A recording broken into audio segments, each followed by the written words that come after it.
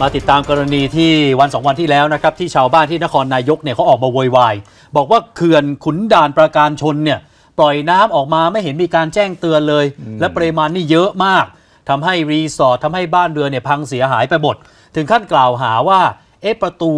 ที่ปิดน้ำเนี่ยประตูน้ำเนี่ยมันปิดไม่ได้หรือเปล่า และทางภาครัฐเนี่ยก็พยายามออกมาชี้แจงว่าไม่ใช่ เราเนี่ยจัดการทุกอย่างตามหลักของวิชาการ ไม่ได้ปล่อยเยอะเกินไป ไอ้ที่มันล้นที่มันเยอะเนี่ยอืมมันมาจากน้ำที่มันไปสมทบรวมกันที่แม่น้ำนครนายกอ๋อน้ำป่าแล้วก็ด้วยรวมกันอ่าเป็นน้ำป่าไม่ได้เกี่ยวข้องอะไรกับการเปิดปิดเขื่อนเลย ซึ่งวันนี้เนี่ยร้อยเอกธรรมนัฐก็ออกมาสำทับเรื่องนี้อีกรอบหนึ่งก็ยืนยันว่าทุกอย่างเป็นไปตามวิชาการ และที่พูดไปเนี่ยไม่ได้ปกป้องลูกน้องแต่อย่างใดนะครับร้อยเอกธรรมนัฐพรหมเผ่ารัฐมนตรีว่าการกระทรวงเกษตรและสหกรณ์ให้สัมภาษณ์กรณีน้ำเขื่อนขุนด่านประการชน จังหวัดนครนายกทะลักกลางดึก คืนวันที่ 4-5 สิงหาคมที่ผ่านมา ส่งผลให้ไหลท่วมรีสอร์ทบ้านเรือนประชาชนได้รับความเสียหาย ซึ่งชาวบ้านเขาเชื่อว่าเป็นน้ำจากเขื่อนนี่แหละ ที่ปล่อยมาเยอะเกินไป ร้อยเอกธรรมนัฐบอกว่าการที่สื่อจะนำเสนอข่าว ก็ตามเนี่ยเรื่องหลักวิชาการเป็นสิ่งสำคัญ เรียนว่าปริมาณน้ำจากเขื่อนปกติ ระบายวันละ 3 ล้านลูกบาศก์เมตร เพื่อหล่อเลี้ยงระบบนิเวศและลำน้ำสาขาจากปลายเขื่อน แต่วันที่เกิดเหตุฝนตกหนัก ปริมาณการระบายน้ำก็ยังเหมือนเดิม ไม่ได้ระบายมากกว่าเดิม แต่ท้ายเขื่อนมีลำน้ำสาขา เช่น น้ำตกสาริกา น้ำตกนางรอง คลองลำน้ำสาขา ปริมาณฝนตกมารวมกันอยู่ท้ายเขื่อนทำให้ตอนหลังเที่ยงคืน 4 สิงหาคม และคืนวันที่ 5 สิงหาคม ตัวเลขปริมาณน้ำที่นำเสนอผ่านสื่อ กลับกลายเป็น 300 ถึง 400 ล้านลูกบาศก์เมตร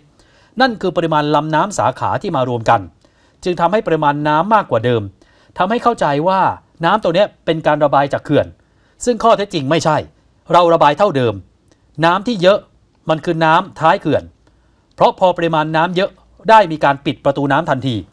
พร้อมยืนยันว่าตนไม่ได้โดดลงมาป้องกันลูกน้อง ปกป้องลูกน้อง แต่พูดไปตามหลักการบริหารจัดการน้ำครับ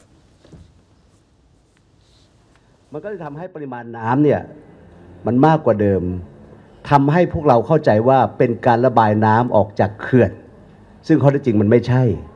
นะครับ เรายังระบายเท่าเดิม หลังจากที่มีปริมาณน้ำเยอะเนี่ยเราปิดประตูน้ำทันที